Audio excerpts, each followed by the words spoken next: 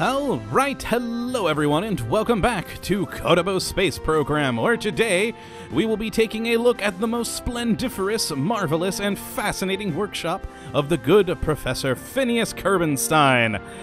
And, oh my, that's an intro. But yes, we're going to be taking a look at another mod today, so if we go to our testing save here, uh, the mod in question is the uh, Professor Phineas Kerbenstein's Wondrous Vertical Propulsion Emporium.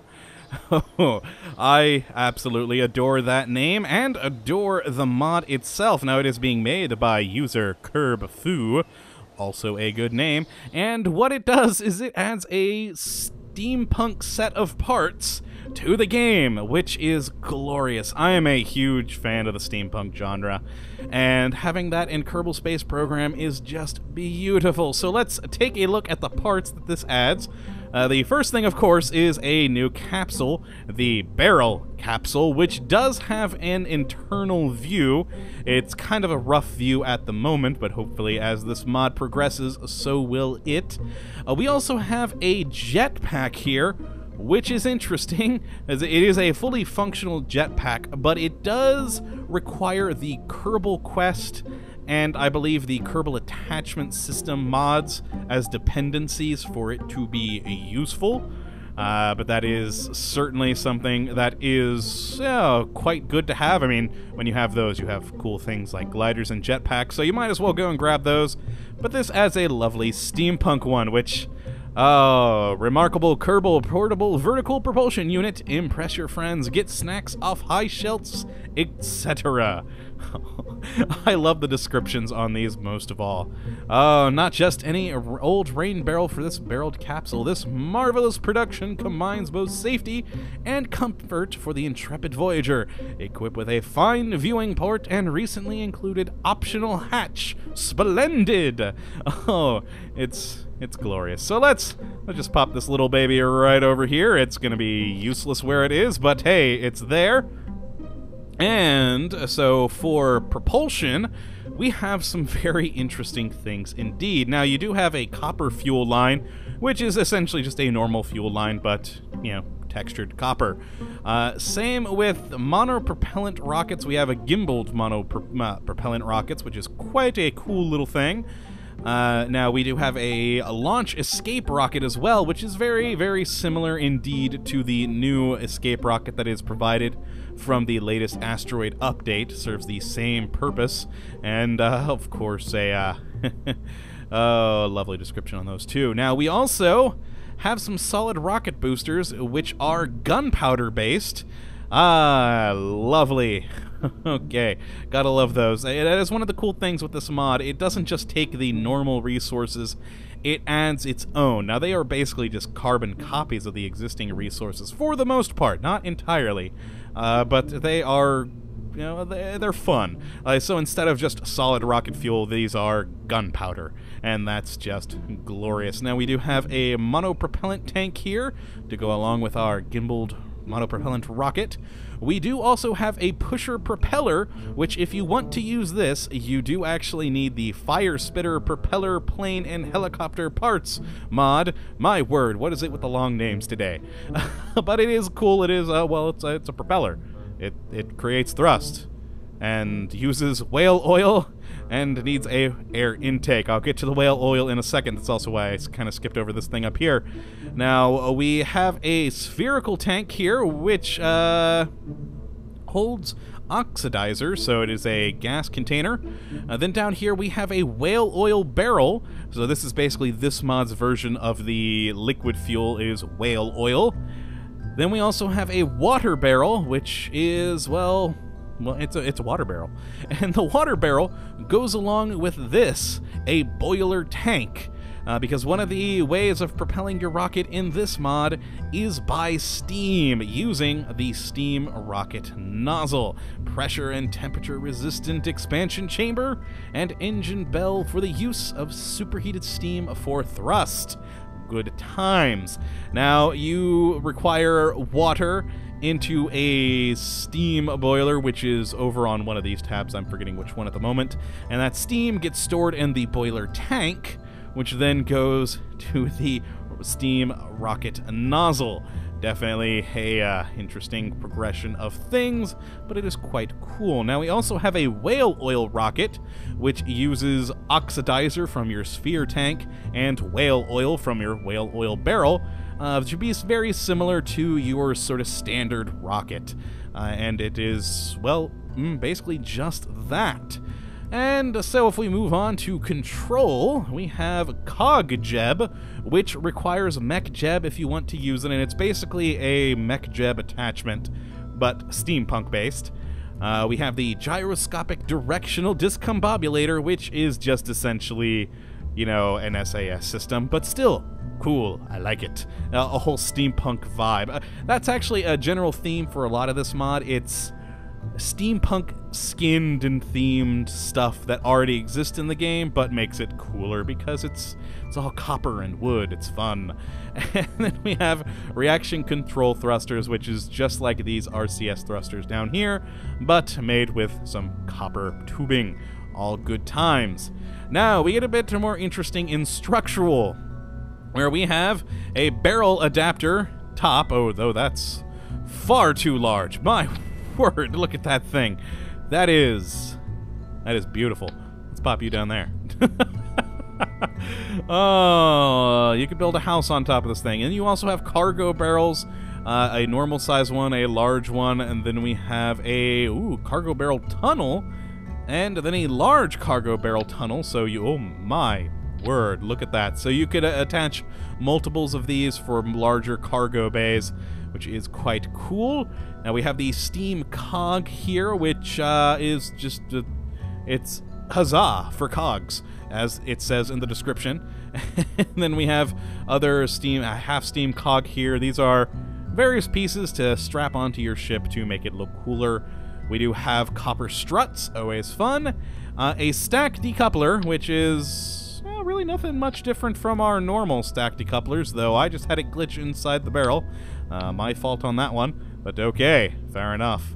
Uh, then we have the radial rocket separator with a slight steampunk theme, a girder adapter, which is also quite cool, and then we have a variety of copper girders here.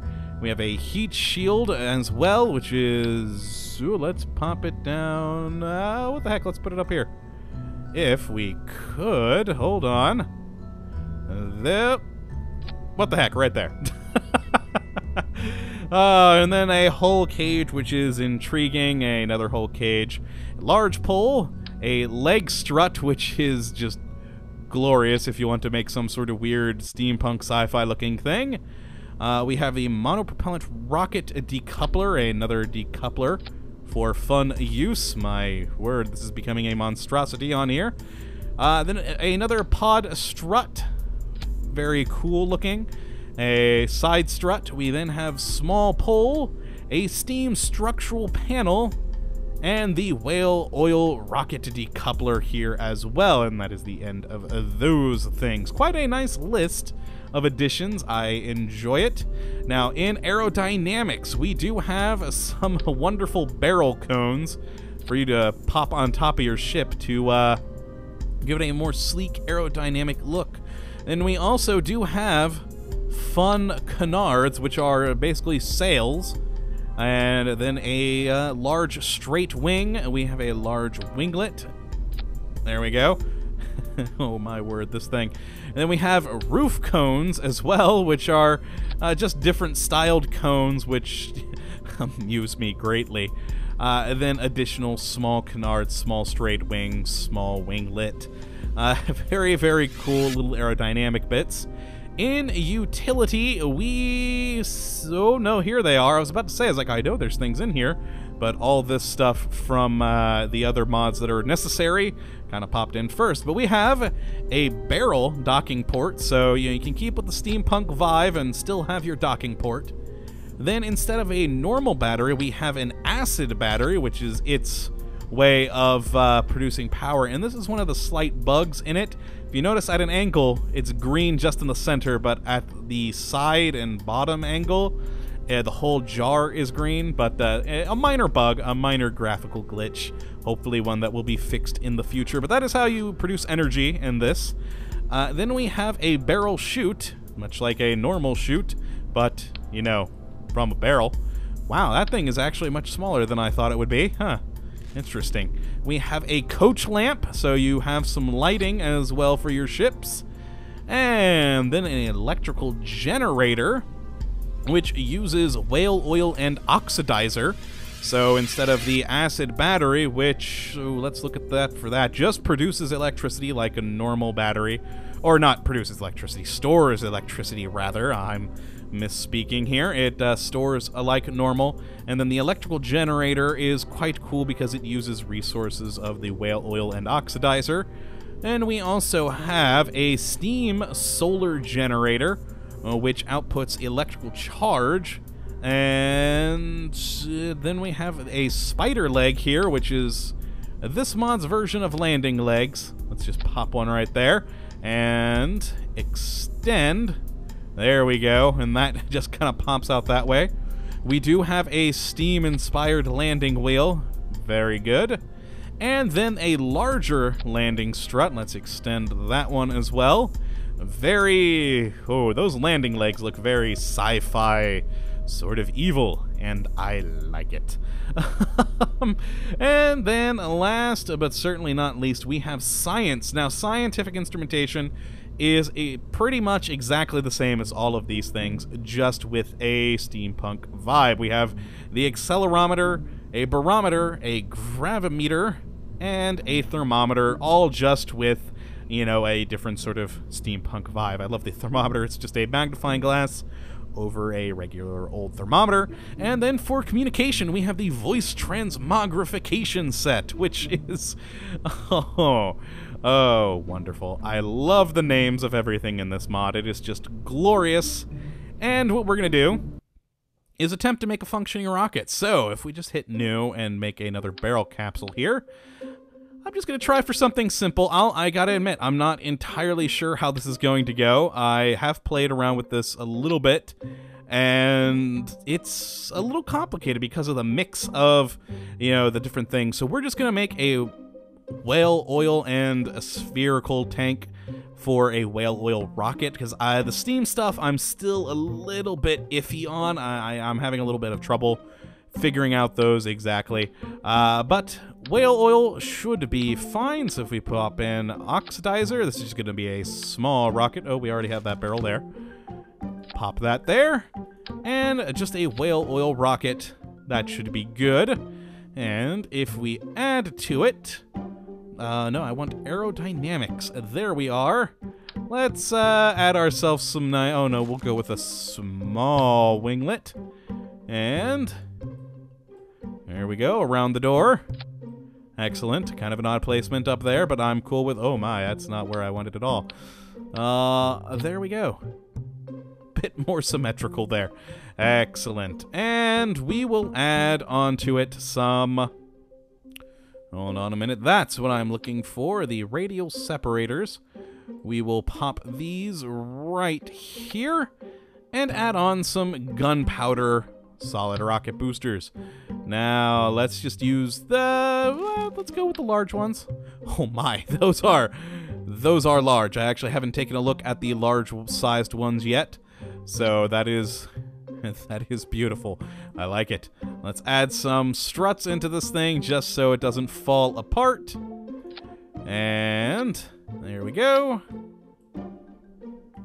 There we go. Excellent.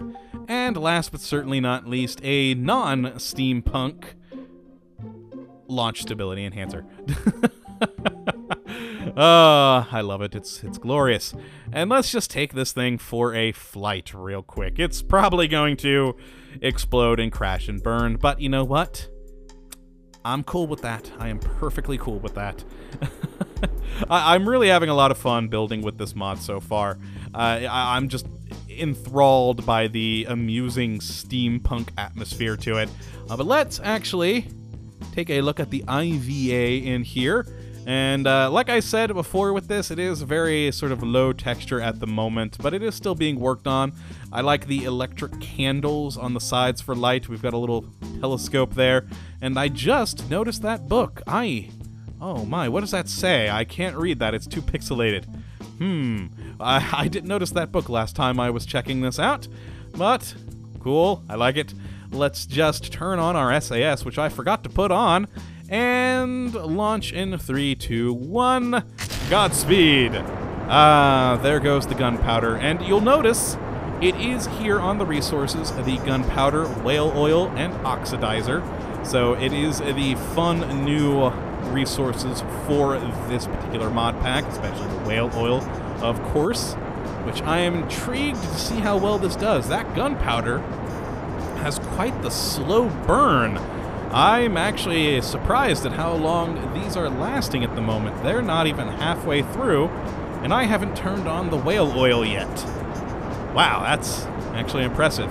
For such a small craft, we're getting much, much higher up into space than I assumed we would, which is kind of cool. Hmm, let's actually take a look at the map real quick. We... We probably won't be able to get into orbit. No, we won't be able to get into orbit, but... Oh, yeah, we're almost out there. We are getting some heat effects, though. I love the wooden a cone on the top. It, that always amuses me whenever I look at these rockets on here. Okay, we're about to drop this. And... There we go. Rele oh! Oh, I did not notice that that one releases up like that, and we have... We've run into it. That is beautiful. Oh my, okay. I did not realize that. I, I had never... I've been using the sort of steeple tall ones, not the rounded ones, which apparently release. That is that is interesting to know. And we do have a functioning whale oil rocket now, which does have some vectoring ability. You can kind of see it moving back and forth as I move the arrow keys. And yeah, it's just hilarious to see this thing of copper and wooden barrels flying into space. Oh my god, we are actually way higher than I thought we would be. that is that is impressive. We wow. Wow. This tiny little ship was able to do this. I'm not even going to try and get into an orbit. I'm just having fun burning all the way out with this thing. Oh my. Oh, oh, it's going to leave the Kerbal system and run into some asteroids. Oh my, and it's closing in and out of fuel. There we go. this rocket, tiny, tiny little rocket, almost got into an, a good enough position for Moho. That that is impressive. Though now now poor Calamoni Kerman is going to die up here because I did not attach any electrical systems or oh any form of life support whatsoever. I'm sorry, my friend, but you will have to deal with this barrel coffin uh, for the rest of eternity. But yes, this this is just a hilarious mod. I am I am in love with it. It is just glorious. So let's actually revert flight back to the vehicle assembly building. Uh, to finish up here, uh, this is this is a very very cool mod. If you're wanting to get sort of a different feel to the game, a bit less technology, a bit more just randomness, then definitely give this a go. I, I do want to try out the jetpack real quick. So let's just add a small little a stacked coupler on top. There we go. That'll be perfect. And then we just put pop that right there. I want to try out this jetpack, so let's launch. I want to see what this little steam jetpack can do, if I can even get it to work. I haven't actually tested this jetpack at all yet, so I don't know what's going to happen.